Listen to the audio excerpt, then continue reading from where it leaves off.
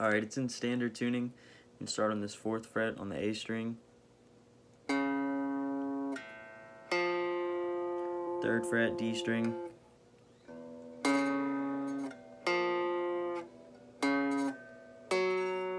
You're to go down to this D string on the fourth fret. So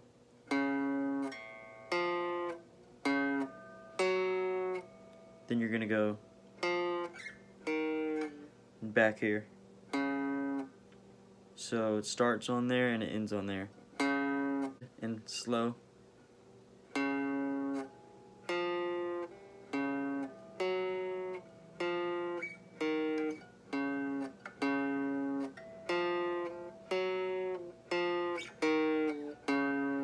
And then it's going to go to the second fret on the A string and then basically do the same thing.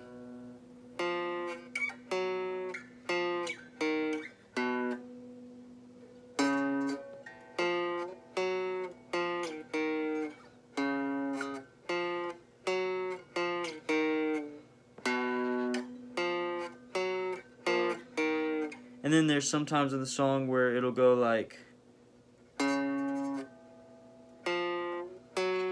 then you stretch your pinky out to that sixth fret.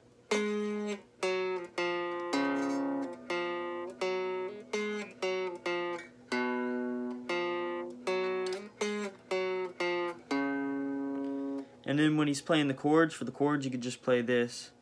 Uh, fourth fret, A string, third fret, D string. And if you mute these last three strings with the bottom of your index finger, you can get that like muted sound that's kind of in the song.